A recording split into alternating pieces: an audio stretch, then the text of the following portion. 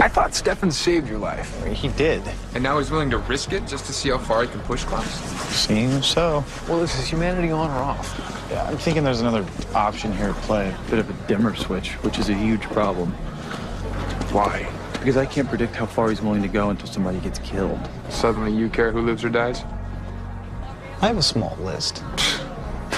Talk about humanity dimmer switch. Screw you. Can't a council meeting ever just be a council meeting?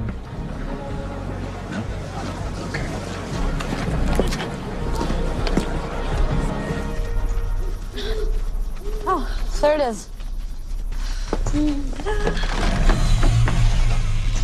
This is creepy, even for us. No, Caroline was right.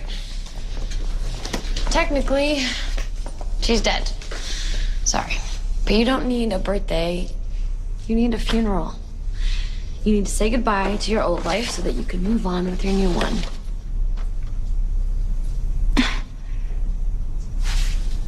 okay.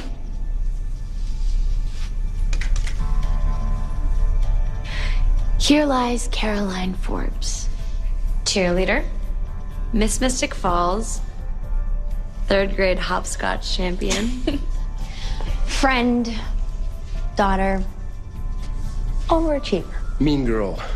Sometimes, no offense. None taken. She was 17, and she had a really good life. So rest in peace so that you can move forward. That's what you really need. That's what we all really need. Amen. Or cheers or whatever.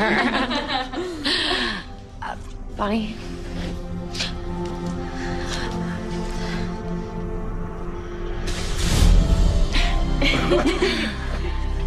nice. Okay, make a wish.